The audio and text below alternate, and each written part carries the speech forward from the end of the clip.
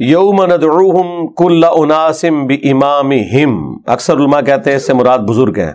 हैं? जब कुरान नाजिल हुआ उस वक्त तो बुज़ुर्गों दे अब्बे भी नहीं सन जमे हुए।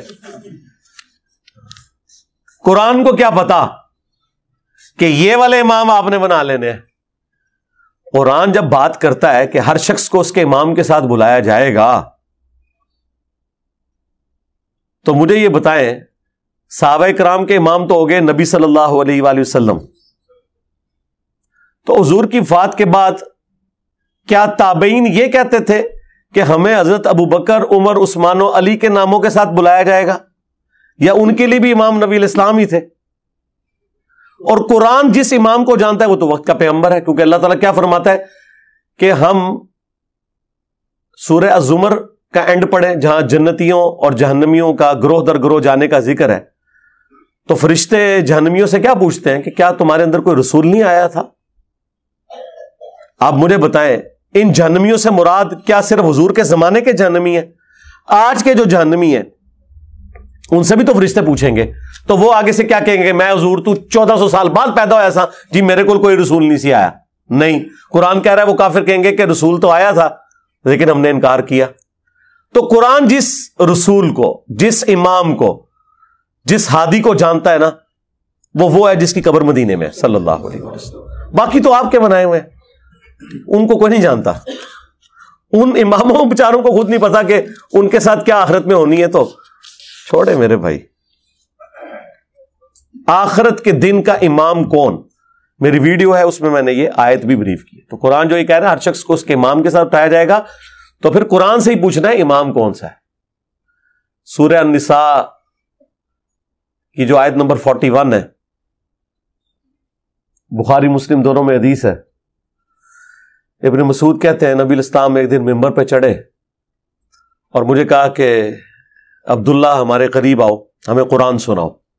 कहते मैं उठ के हजूर के पास जाके बैठ गया। और कहा यारसुल्ला मेरे माँ बाप आप पे कुर्बान, कुरान तो आप पे नाजिल हुआ, मैं आपको कुरान सुनाऊं। तो आपने फरमाया कि मुझे दूसरों से सुन के लुत्फ आता है। तो इबन मसूद कहते हैं कि मैंने सूर्य अननिसा की तलावत करनी शुरू कर दी।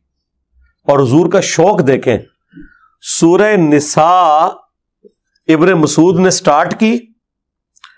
चालीस आयात पढ़ दीजिए इबन मसूद ने। और हजूर वसल्लम उसी तवज्जो के साथ, उसी मोहब्बत के साथ सुनते जा रहे हैं। कहते हैं, मैं जब इकतालीस नंबर आयत पे पहुँचा फकईफा इदा जिना मिनकुल्ली उम्मतिम भी शहीद तो वो क्या मंजर होगा कि जब हम हर उम्मत में से एक गवाह को उठाएँगे। वह जिना बिका अला हा शहीदा।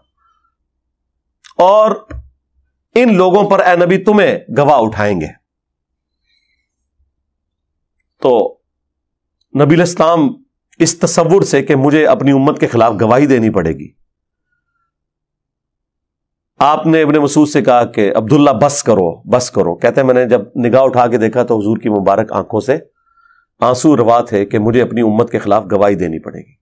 अब यहाँ पर भी अल्लाह तला हमारा है कि हम क्यामत के दिन सारी उम्मतों को उठाएँगे और फिर हर उम्मत में से एक एक गवाह को एक एक इमाम को एक एक बड़े को उठाएँगे। कि हाँ भाई, वो बड़े इनके नहीं है, वो पैगंबर है। इमाम पैगंबर है। गवाह पैगंबर है। और वो लोग भी जिन्होंने पैगंबरों वाला काम किया और उन्हें दीन के रास्ते में जो तकलीफें उठानी पड़ी, यकीनन उनके भी मामला अलग से सेटल होंगे। वो अपनी जगह एक मामला है, लेकिन कुरान जिस इमाम को, जिस गवाह को, जिस लीडर को ज़िक्र करता है ना, वो वक्त का पैगंबर होता है।